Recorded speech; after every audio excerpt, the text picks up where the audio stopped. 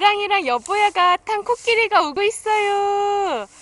아, 우리 여보야 재밌게 탔나요, 코끼리? 우와, 재밌게 탔대요. 어, 그랬대요. 어, 잘했어요. 아, 코끼리 잘했어요.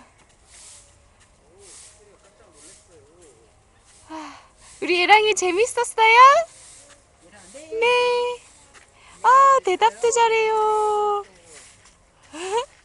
안녕. 안녕.